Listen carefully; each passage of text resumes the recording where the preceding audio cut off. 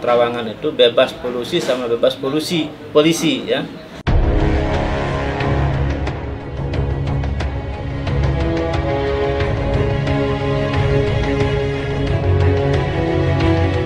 kalau misalnya masalah ganja kalau misalnya ada lagi di gini gini gini bro kamu gak usah di ini dong kamu di tempat aja.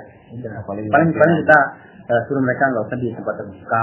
Kalau pas untung masnya bisa dapat 300 itu paket itu bisa 6 linting